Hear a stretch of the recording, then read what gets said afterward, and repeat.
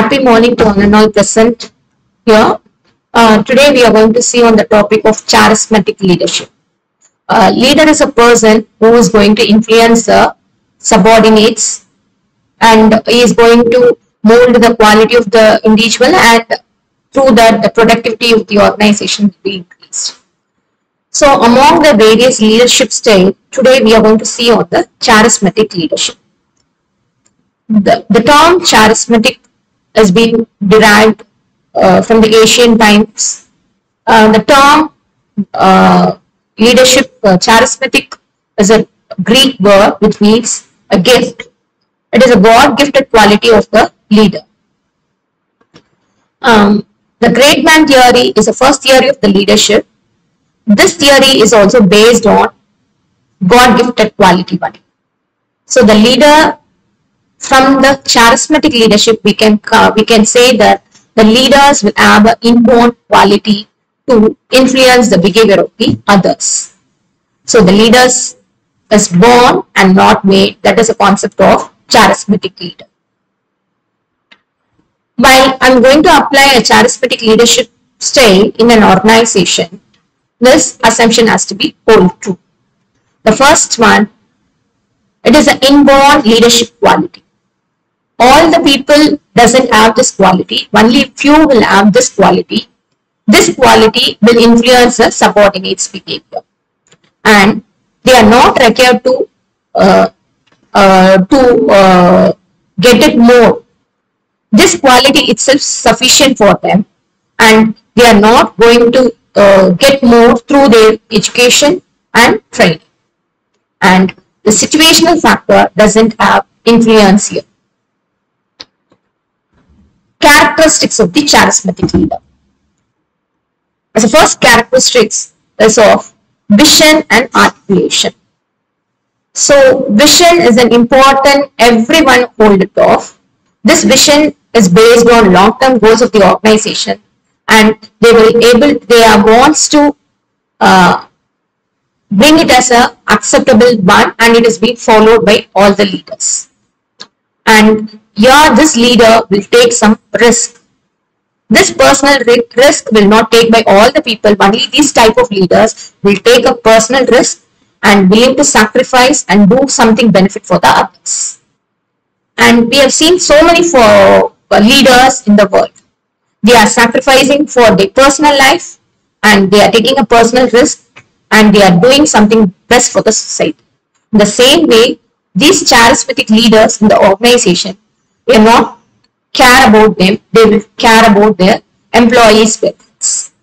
And the third characteristics of sensitivity followers need.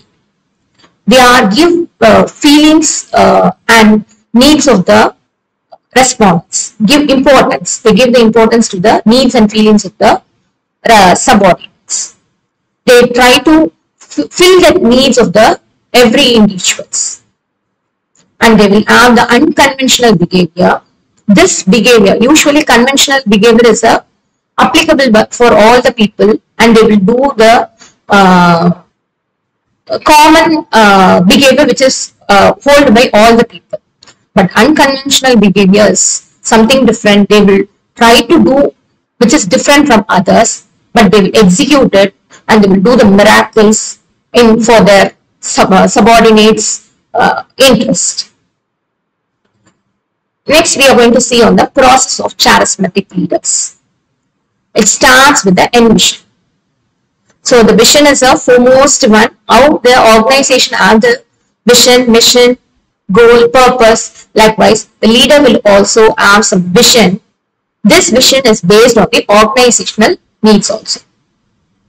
This envisioning is based on the creating of or formulating something which is not early is there and they try to formulate a vision for the benefits of the all the people. It can be a subordinates and it is for the organization also. Once this vision is been ready, the preparation of vision statement, the second process starts. Here, whatever I have formulated, I will try to convert in thinking into action wise putting in a concrete way something uh, with, uh, with something uh, putting in a framing for the my vision. So envision is somewhat different and preparation of the vision statement is different. Based on envision, the preparation of vision statement will be prepared by the charismatic leader. Once this statement is ready with some wordings, with the definable, with the boundary words, everything if it is ready, it has to be communicated. That is consist of third step of charismatic leader. They are putting the vision in the form of statement which is made understandable by the employees and they will communicate to the employees. Once it is communicated, they will check whether they have understand, whether it has been possible to execute, everything they will cross-check it off. They will clarify any any block or any hindrances they, they try to co cover it. Once this communication is over, the, the last stage is of is an important part of the charismatic leader is of en, engaging in emotion inducing. Emotionally, they started to induce the behavior of the individuals of the uh, that is employees and make them to implement it. So the charismatic leader uh, doesn't have the, the common followers or a, uh, the, the very, they won't involve in a common work. They will do the extraordinary, which it cannot be possible to do by the normal team, and they try to uh, make an employee to do it off.